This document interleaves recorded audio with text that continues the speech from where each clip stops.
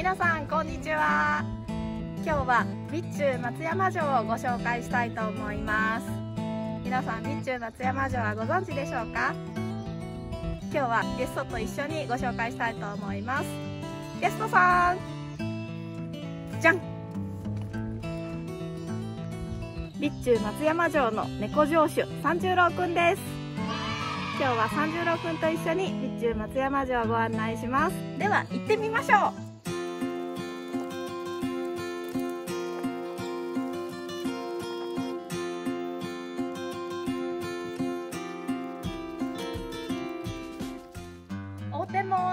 やってきました。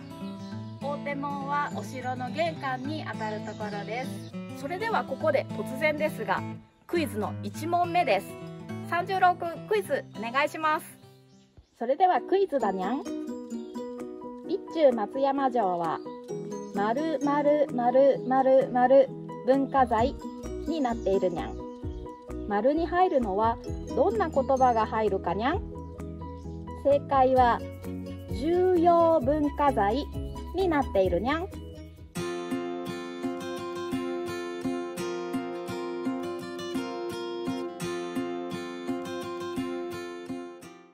ここが備中松山城の三の丸跡です。備中松山城の天守まであと少しです。猫城主の三十郎くんが見つかったのもここの三の丸。名前の由来の一つにもなっています。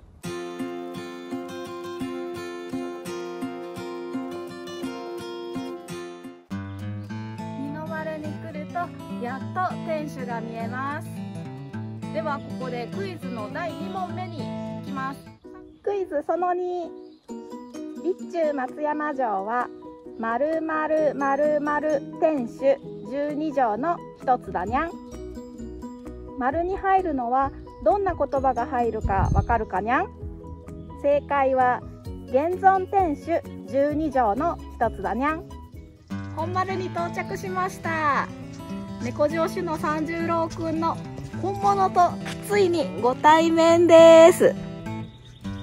ではここでクイズ第3問を出題したいと思います。クイズ第3問。僕の名前は三十郎名前の由来は2つあるにゃん。わかるかにゃん？1つは先ほどの三の丸で見つかったこと。さてもう1つは何かにゃん？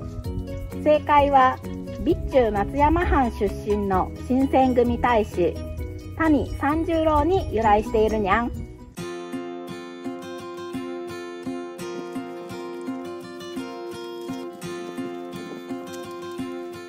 れは二重櫓です。備中松山城にある重要文化財のうちの一つで天守に次いで2番目に大きい建物でした。普段は非公開となっていて年に数回特別に公開することがあります。